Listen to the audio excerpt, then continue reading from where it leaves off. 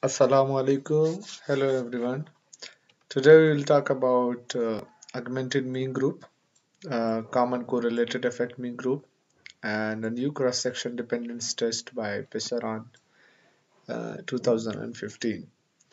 Uh, there are several benefits of using augmented mean group and common correlated effect mean group uh, but the most uh, uh, prominent feature that deals by both of these tests are slope heterogeneity.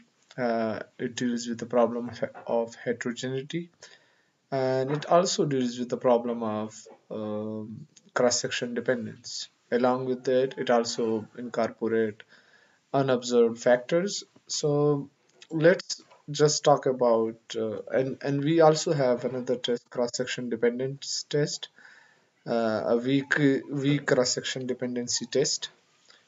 So first of all let's start with the AMG and then we will follow CCMG and then we will go to the CD test.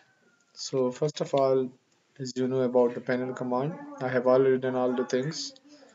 So let's just run a simple mean group model we have aug for the augmented mean group trend and robust.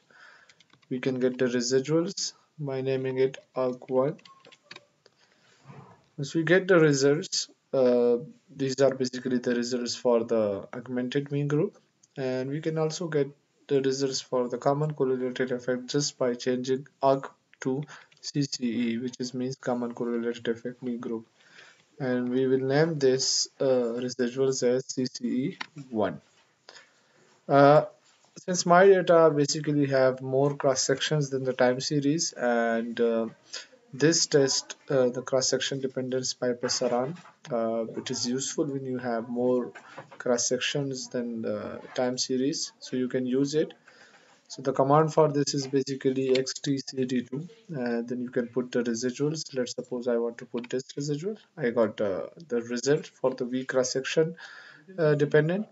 Uh, actually, uh, weak uh, cross-section dependency is linked with the economic proximity, and uh, strong cross-section dependency is linked with the demand shocks, macroeconomic shocks, and change in the economic structure. So I hope uh, this video is uh, useful for you people, and especially for those people who are working with the panel data.